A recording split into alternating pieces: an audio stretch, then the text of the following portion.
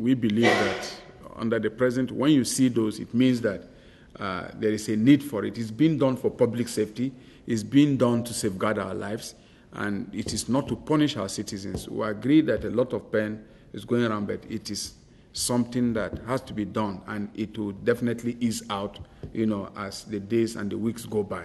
Those queues will ease out. We're also looking at alternative ways, you know, of um, securing those routes, and all those have been taken together.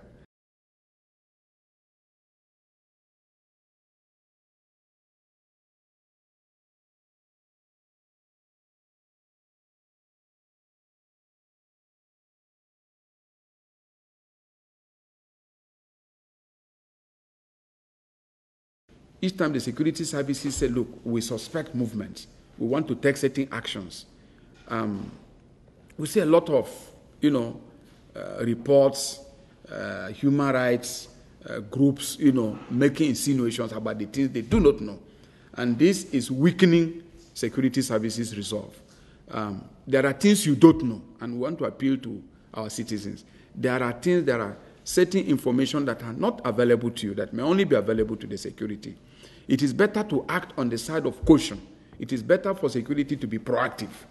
Uh, I'm saying so because each time the security people have tried to, to, you know, to strike at targets, there's a lot of public opera and propaganda, which is weakening our national resolve to fight terror.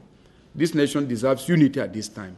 And as you know, even in the heat of this, you are seeing some very irresponsible comments, you know, coming from highly placed uh, people